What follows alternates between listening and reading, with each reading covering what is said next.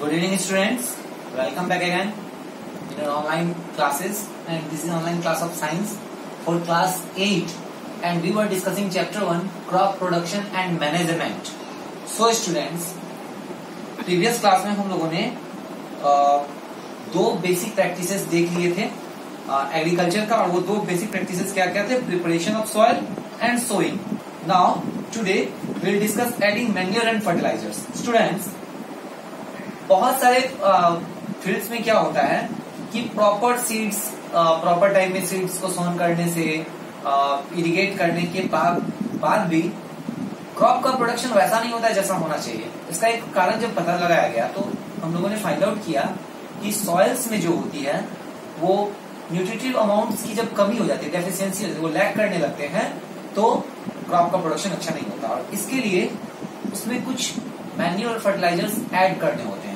सो manures क्या है?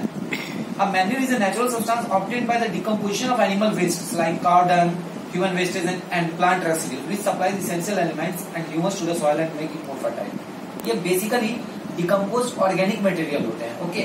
और इसका यूज़ किया जाता है सॉइल की फर्टिलिटी को बढ़ाने के लिए। The second one is fertilisers basically fertilisers को केमिकल फर्टिलाइज़र फर्टिलाइजर्स भी कहते हैं बिकॉज़ ये फैक्ट्रीज में प्रिपेयर होते हैं। ये नेसेसरी प्लांट न्यूट्रिएंट्स इनमें पाए जाते हैं, जैसे nitrogen phosphorus potassium etcetera so student here the basic difference between manure and fertiliser is given अगर आपसे क्वेश्चन पूछा जाएगा what is the basic basic difference between manure and fertiliser then manure में आप कह सकते हैं कि मैन्यूर नेचुरल होता है फर्टिलाइज़र जो होते हैं, ये इसको आर्टिफिशियल होता है, इसको मतलब कि फैक्ट्रीज वगैरह में प्रिपेयर किया जाता है।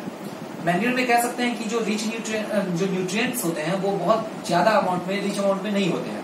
जबकि फर्टिलाइजर्स में कोई भी न्यूट्रिएंट्स जो होते हैं, वो रिच अमाउंट में होते हैं। मैन्यूर को कैरी करना that means transportation of manure is very difficult but transportation of fertiliser is very easy उसे आप कहीं भी ले जा सकते हैं, क्योंकि वो पैकेट में होता है। मैन्यूर को फील्ड्स में प्रिपेयर किया जा सकता है फर्टिलाइजर्स को फ़ील्ड में प्रिपेयर नहीं किया जा सकता है। मैन्यूर बल्कि होता है फर्टिलाइजर्स बल्कि नहीं होते हैं। तो ये सारे बेसिक डिफरेंसेस आप मैन्यूर फर्टिलाइजर्स में बता सकते हैं। ना स्टूडेंट्स मैन्यूर का क्या एडवांटेज हम लोग जानेंगे। देखिए manure enhances the water holding capacity of the soil ये सॉइल के वाटर होल्डिंग कैपेसिटी को बढ़ा देते हैं। It makes the soil porous due to which the exchange of gases becomes easy it increases the number of useful microbes in the soil and it improves the texture of the soil. Okay? Next. So there are so many uh, uh, plants uh, in which manure is needed. Almost plants में आप manure का use करके उसके fertility को मतलब इसके growing growth rate को बढ़ा सकते हैं।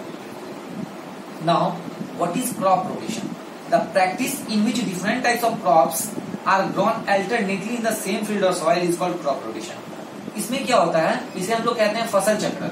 That means two main crop plant के बीच एक लेग्यूमिनस प्लांट को लगाना दैट इज़ क्रॉप रोटेशन इसमें क्या होता है?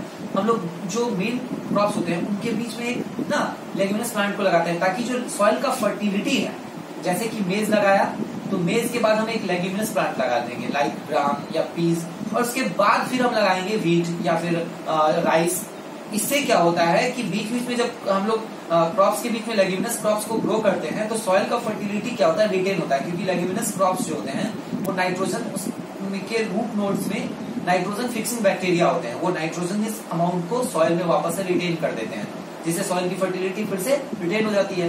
यही कारण है कि क्रॉप रोटेशन बहुत ज़्यादा प्रैक्टिस किया जाता है इंडिया में फार्मर्स के द्वारा। Okay students so crop rotation का एडवांटेज है सॉइल की फर्टिलिटी बढ़ जाती है। नाइट्रोजनस फर्टिलाइजर्स का जो लॉस होता है, वो उसको ये मेंटेन कर देते हैं वापस से। So students in science class it's in it's other parts that means irrigation and rest parts will be discussed in next class till then good bye and take care